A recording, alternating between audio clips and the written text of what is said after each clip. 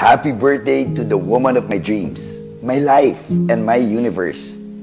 Last Christmas, I gave you my heart, and you gave me yours too. You and the boys welcomed me and the kids to your home.